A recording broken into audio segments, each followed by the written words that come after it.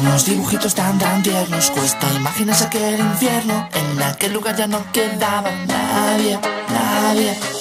Con todo lo iba abriendo Y una nota de otro niño encuentro Hay un monstruo al que tiene que enfrentarse, darse